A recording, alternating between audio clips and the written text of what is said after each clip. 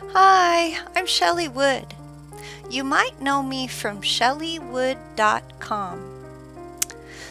This is my tiny sewing room where I make doll clothes sewing videos.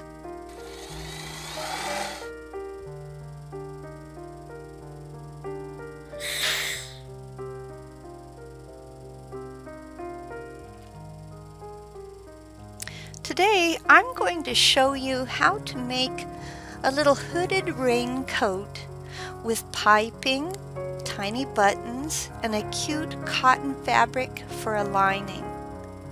It should fit most of your 14 inch to 17 inch dolls that's 35 to 43 centimeters tall, like the Hearts for Hearts girls and similar sized dolls.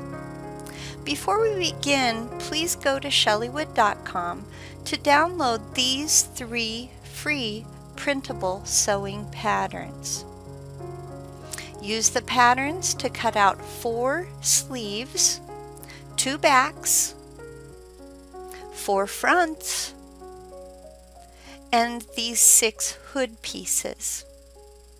You will also need some piping.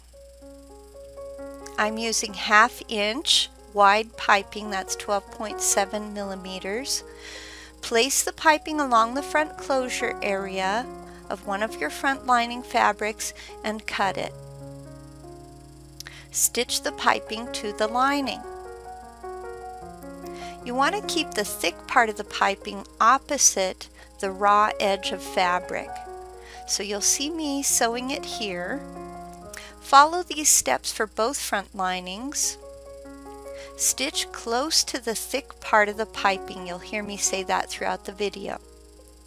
In this image, my stitches are blue. Measure and cut piping for your sleeves. Attach the piping to the sleeves lining and once again, stitch really close to that thick part of the piping. You want those stitches as close as you can get them to the thick part of the piping. Do this for both sleeve linings. Now we're going to work with the hood for a little bit. Align the gusset lining piece with one of the hood's lining pieces so the hoods are rounder and then stitch them together from the top to the neck. And you'll see me doing that here. So I start at the top I go around. It is tricky to make it around the corners like that. Clip the seams. Here's a quick video showing me clipping those seams. Now when I designed this pattern I made the gusset a wee bit too long on purpose. And that's because it's really hard to maintain seam allowances when you're going around corners and curved edges. So I just gave you a little extra room. But we'll trim off any extra gusset material at the neck before we're done. Now you want to attach the other side of the hood following the opposite round area of the hood. So you do it just like we did before, but the other side of the hood. And you see me doing that here.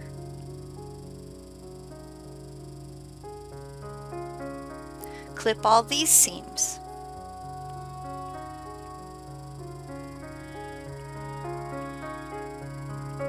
Here's how the lining looks so far on the hood.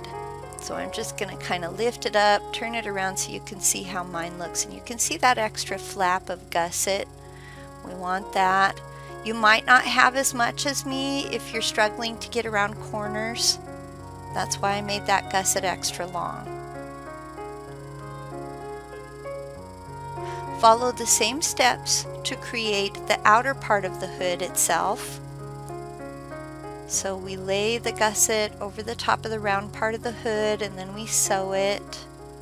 And again, it's tricky to keep those seam allowances at 1 4th inch, but you want to do your best. And I'm sorry I'm a little backwards in the way I sew this, but that's because I make doll clothes. So I'm kind of on the wrong side of the sewing machine. Okay, clipping those seams. Now you have two hoods, a lining and its mate. Attach piping to the lining along the front and you're going to begin at the neckline, sew along the gusset's raw edge, and down the other side of the hood's opening. So when you sew this, you're framing the doll's face with the piping. Think of it that way, it might help you figure out how to sew that on there. Always stitch close to the piping's thick side. Encase the lining inside the outer hood, keeping right sides together. So you can see that's the lining and it's got the piping on it and then I've got my outer hood sort of inside out and I slide the lining inside and you want to really tuck that piping in tight can see me tucking the piping in stitch them together following the edge of the piping again as close to the thick part of the piping as you can get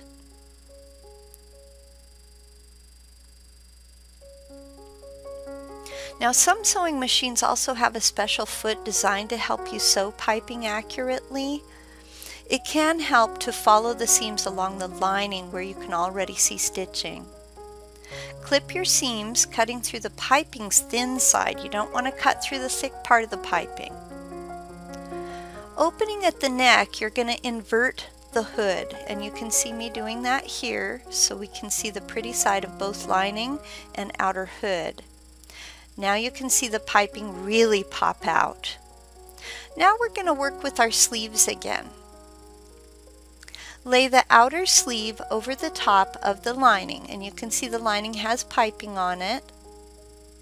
So here we are laying the outer sleeve over the top and the piping is where I touched it with my finger.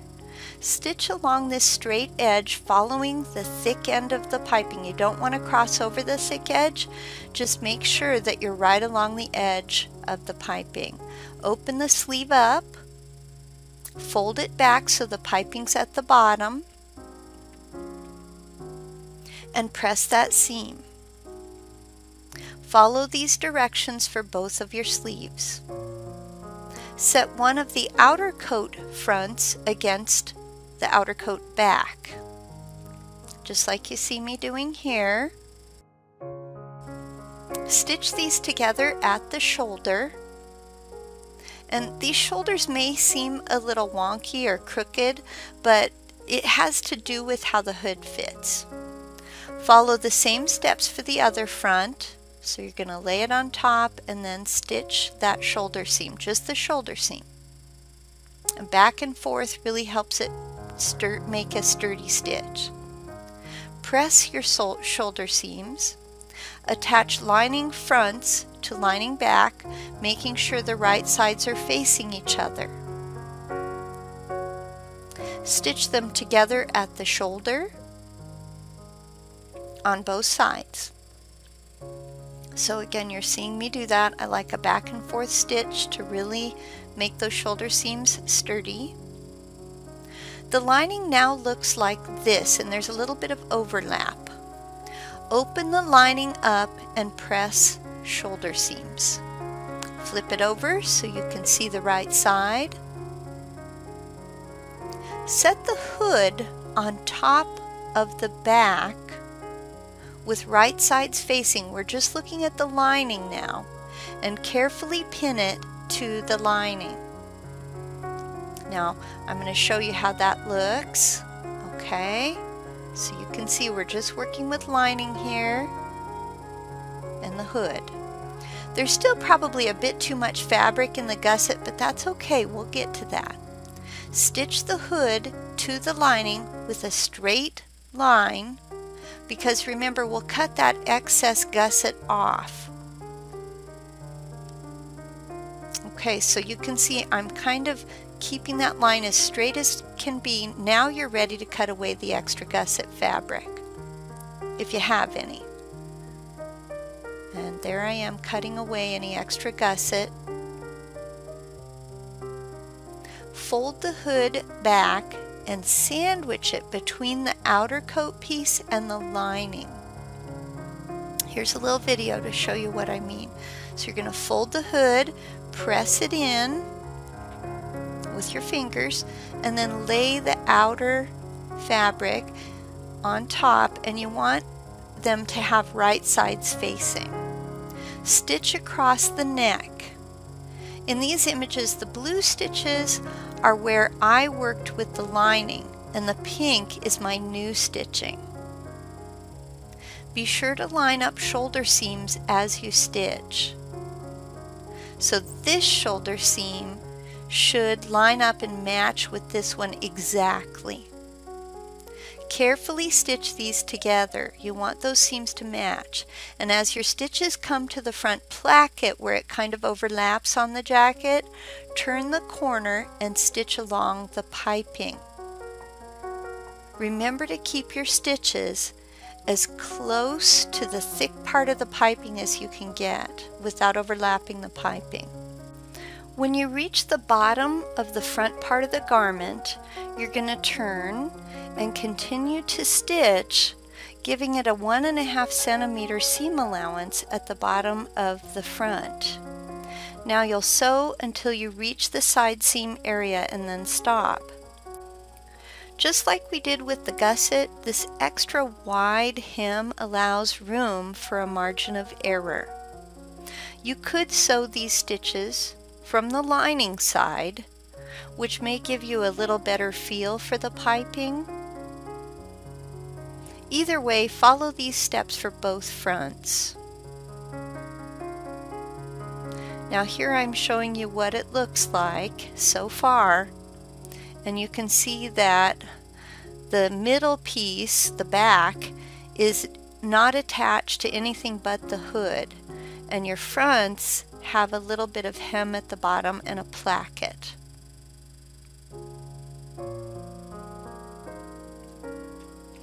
Clip and invert the neck, the placket, and the front. I've got it in quotes hem because it's not really a hem, it's just a seam. And here I am inverting and now here's how it looks.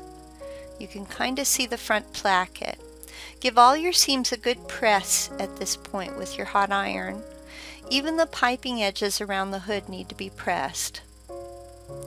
Lay one of your sleeves against the garment, keeping right sides together. And stitch from the underarm almost to the shoulder seam. Here you'll see stitching from the underarm. It's almost to, it's like one centimeter from the shoulder seam where I stop. Now wrap the top of the sleeve around until the edge of the top of the sleeve meets the other underarm and begin sewing from there. Once again, you're going to stop when you're about a centimeter from the shoulder seam. So you stitch from the underarm to shy of the seam once again. The sleeve is now partly attached, except at the very top of the sleeve where you stopped stitching early. Gather the fabric at the top of the sleeve. Here I am showing you the gather. So I'm gathering the top of the sleeve. And then you're going to attach it. Once it fits nicely against the shoulder area, you've got those gathers so it all matches up nicely, attach the sleeve top at the shoulder. And here I am doing that. I'm making some attachment stitches that go clear through to the other side. Gathering will create a nice fit. Now that you have this sleeve attached, follow the same steps for the other sleeve and for simplicity's sake, I'm going to show you all the steps in one quick clip. So here I am preparing my sleeve. I've got it up against that underarm. I stitch from underarm to one centimeter shy of the shoulder seam. I cut my thread. I wrap it around and I sew once again from the underarm to one centimeter shy of the shoulder seam. Now there's an opening. At the opening, I gather the sleeve to make sure it has a perfect fit against that shoulder seam. Once I've got the perfect fit, then I attach it. Now your garment should look like this. And here it is from the outside. Fold one sleeve in half like you see me doing right here. So I take that front placket and fold it and then stitch from the sleeve's edge to the underarm. And then you turn a corner and stitch down from the underarm. But once again we're going to stop sewing well before you reach the bottom of the placket.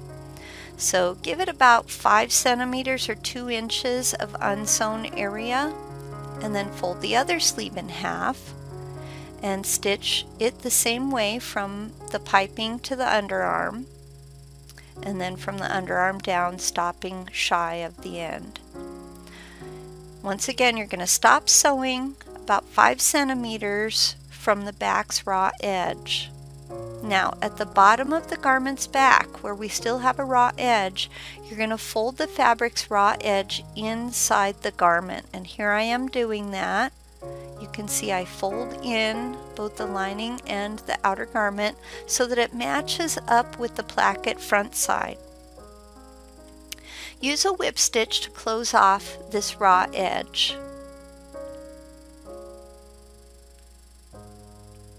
Now you still have some seams on either side that need to be sewn shut. So you'll want to sew those. Once you've finished both side seams, then you clip the seams, especially at the underarms, and invert the whole garment. Here I am inverting. I use a chopstick to help with that. It's starting to look like a jacket now. We're going to attach soft Velcro to the placket. Here I am sewing my Velcro on. You want to make the um, when you attach the Velcro to the lining like this, you want to make sure your seams look pretty because they are a top stitching. And of course, top stitching is seen from the outside. Once the Velcro has been sewn on, use that top stitching to guide you as you attach pairs of buttons to the front. I think mine are about a centimeter and a half apart. Okay, let's try this jacket on a doll. For more free printable sewing patterns, for dolls of many shapes and all different sizes, remember to visit my website, chellywood.com. Well, that's all I have for you today. Thanks for watching. If you like my videos and my free patterns, please share them on your favorite social media platforms. It really helps my website grow if you spread the word.